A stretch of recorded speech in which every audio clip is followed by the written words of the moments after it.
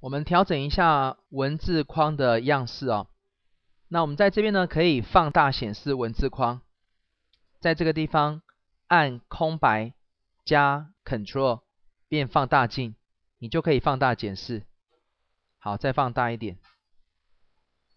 然后我们待会编辑完成之后，如果要回到页面的检视的话，有一个快速键，各位不妨记一下，你可以按 Ctrl Alt 加零，可以放大检视页面，它会把它显示的比例呢调成最适当的，或者是按 Ctrl 加零，就只会显示这一个页面。好，我们这边还是放大来看，因为我们现在要调整的是这个文字框。点选，点选之后呢，如果我们要设定颜色的话，在这个地方啊，选择套用颜色即可。那当然，老师会建议你用色票来做啊，而且呢，请你用 CMYK 的模式来调整。我们这边呢，先找色票，然后我们这边呢，新增一个色票。请你给它一个适当的名称，好，然后在这个地方呢选颜色，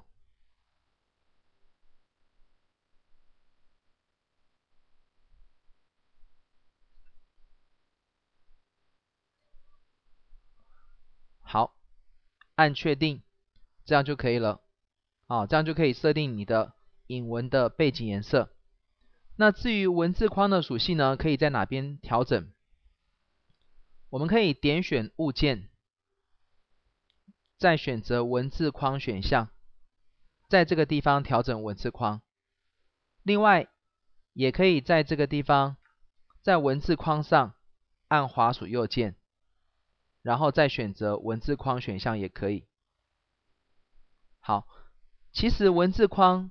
你可以把它看成是一个迷你的页面，你也可以在这边呢设定两个栏位，只是因为引文的范围通常都不大，你如果再分成两栏的话，反而不容不容易阅读，好，所以它是可以做多栏的设定，而且呢也可以调整栏的间距。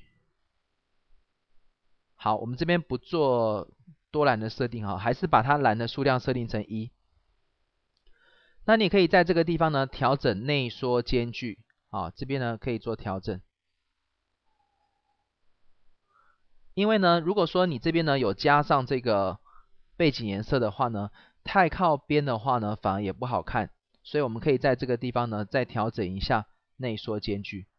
好，所以呢通常我这边的内缩间距调整哈，我会配合刚才的绕图排文设定。好，我再打开绕图排文的工具面板。好，通常这个绕图排文呢，我可以调整一下，好，调到适当的大小，然后呢，再调整内距即可。好，接着呢，图文框这个地方呢，还可以切换成两种啊，文字框可以切成两种框架类型，这是一般的文字框。那如果说你希望排列的时候呢，你可以用。框架格点的方式来排列，我们来看一下它的差别。这是框架格点啊，你可以发现呢，行距会变得稍微大一点。我这边呢，把这个框呢再加大好了。点选，我们来看一下文字框的属性哈，它还可以做排列的设定哦。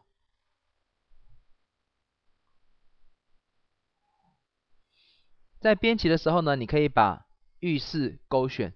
这样你就可以不用按确定，你在编辑的时候就可以看到它编排的效果。好，我们这边呢也可以选择啊，稍后哦，我这边把它先还原回来哈，还原变成文字框。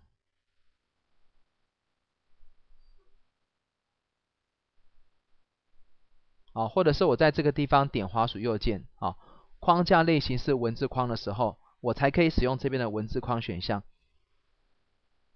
你可以在垂直起行这个地方，哎，我先把它拉大一点好了，